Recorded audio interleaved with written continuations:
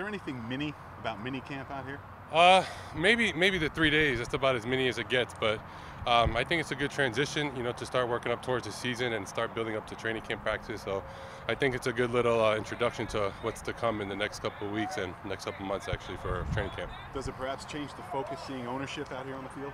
Uh, no, I think everybody comes out here every day to compete and to get better. I think that's that's the biggest thing is every day come out and take another step to getting where we want to be, and just put that good day's win work, and everything will take care of itself.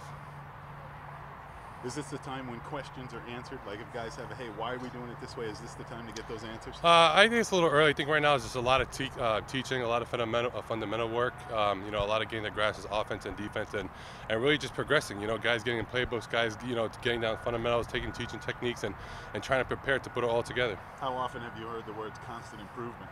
Um, it, I think it's that's universal. I think that's what you hear around the league all the time. You know, it's a, it's a week by week league. It's a year by year. So, you know, no one stays the same. No one's as good and no one's as bad. You know, if you if you're staying the same, you're only getting worse. So I think everybody comes out here with the with the mindset of, of getting better and trying to build off the consistency. You, you constantly hear that this is the time where teams truly get better, and when championships, you know, they go back to mini camps and OTAs. Like, how important is these three days, and really, I guess, the OTAs before that? I think they're just important as any days you come out here. You know, we come out here not to waste time. We come out here to compete. We come out here to get better. We come out here to take um, steps forward as an offense, as a defense, as a special teams, and and that's really the goal. You know, we come out here not to just be out here because we have to or because it's voluntary. You know, everybody comes out here with a purpose, and as long as we come out here with that mindset, you know, we'll continue to get better.